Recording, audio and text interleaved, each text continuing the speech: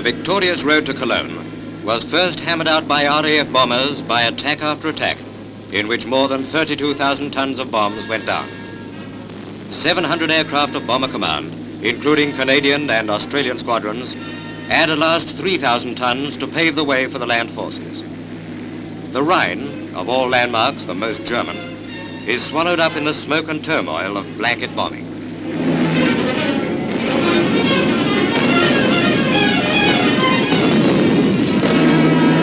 From the camera aircraft, we see the death of a Lancaster, which received a direct hit.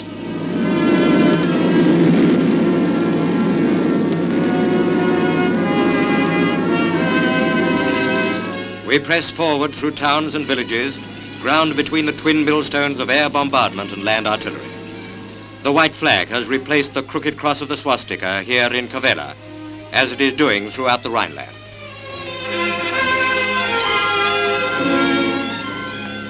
Men and machines doggedly, irresistibly ploughing deeper into Germany.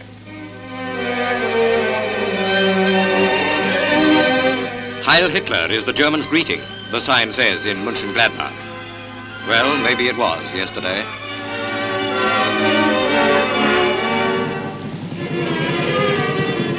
The chaos of the refugee, the mark of Cain which Nazism set upon the face of Europe, is felt now in Germany.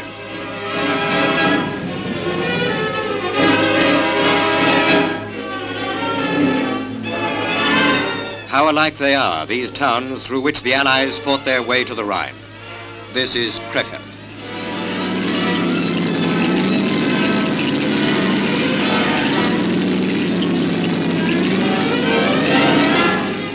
There's a hush and an air of suspense in streets and buildings in these first hours after surrender.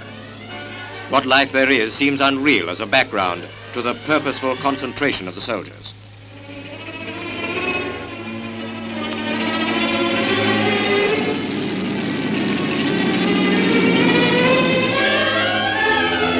Of all these conquered cities of the Rhineland, biggest, proudest, and most German of all is Cologne.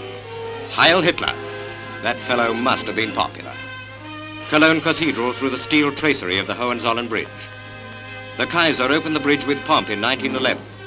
In 1945, Hitler closed it with dynamite at the insistence of General Hodges' American First Army. Somewhere, there are 100,000 civilians in the dead rubble that was Cologne. For the past two years, they've lived 50 feet below the streets. A service cameraman sees the swift execution of a tank.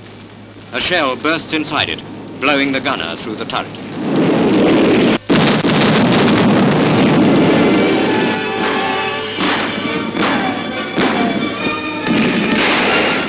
Dr. Goebbels' handiwork warns, the enemy is listening.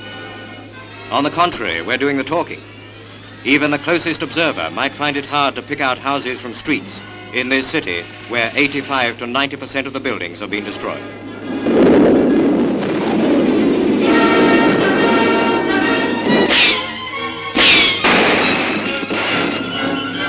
This shattering through and over the Rhine at Cologne must bring home to the Germans more forcibly than any blow they have yet sustained the nemesis which has descended on them. Little but the cathedral remains standing. In the wreck and wretchedness of Germany's third largest city is written the epitaph of Hitler's Rhineland.